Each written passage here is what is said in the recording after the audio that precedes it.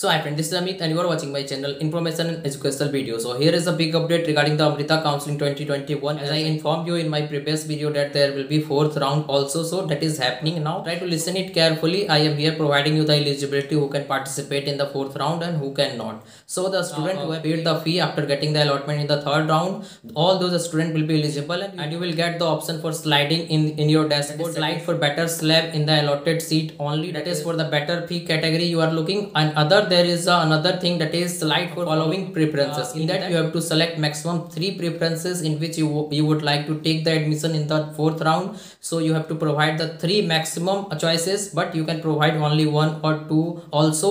So i will suggest don't put those choices in which you don't have the interest. You can check the sidewise also. I provided all the detail.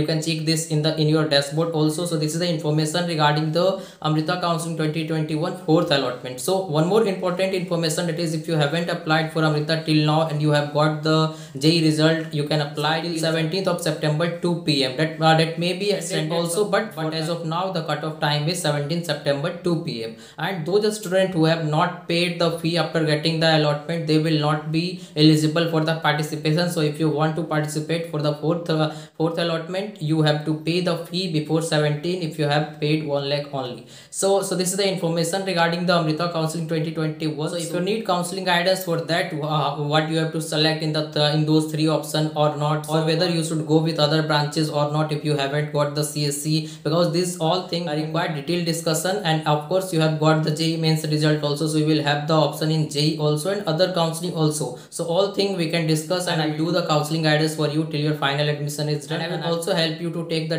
better decision to uh, to choose the best option from all the options that you have to choose a particular college this year and also which branch you should choose or not. So because this type of quite detailed discussion so once you register with me then only i will guide you for all the things. So if you want you can contact me through instagram or whatsapp number available in the description box. So thanks for watching this video. Please try to subscribe this channel so that you will get all the update about amrita counseling in future days and also about other interests other counseling including JEE and JEE advanced in this channel only